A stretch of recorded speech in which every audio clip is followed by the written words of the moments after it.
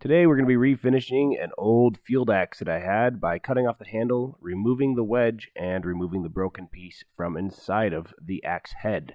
I did the fit up off camera, but here I am trimming it out and sanding down the axe head to prepare for a fresh finish.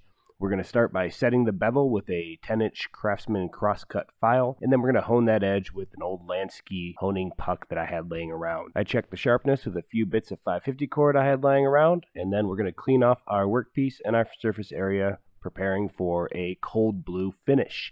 The cold blue finish allows it to have a controlled oxidization. This way it does not rust as easily. I burnish it with a little bit of steel wool, and then we're going to take off that polyurethane handle finish.